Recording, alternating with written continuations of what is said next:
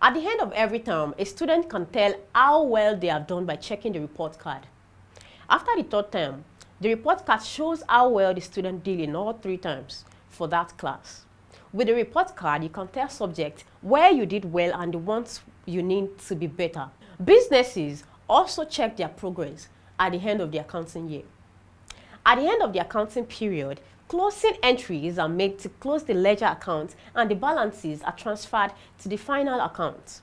The business also matches its costs and expenses to revenue by making adjustments, just like in a report card where each grade has to be matched to the correct subject so you can tell how well you are doing in each subject. Accruals are revenue that the business has not been paid for or expenses the business has not paid for, but the service has been enjoyed. For example, when a business does not pay salary, it is recorded as an accrual since the staff have worked.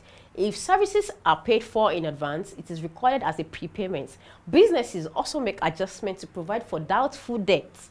A doubtful debt is a debt the business is not sure it will recover. The items the business has not sold at the end of the year also need adjustments. Errors in the record have to be corrected at the end of the accounting period. When the business offers discounts to customers to encourage them to pay on time, it has to make adjustments for the discounts. Adjustments help the business match costs and expenses to revenue at the end of the accounting period. This helps the business have a true view of how well it is doing and areas it needs to work on. And just like a report card, I hope you enjoyed my class. See you in my next class, guys.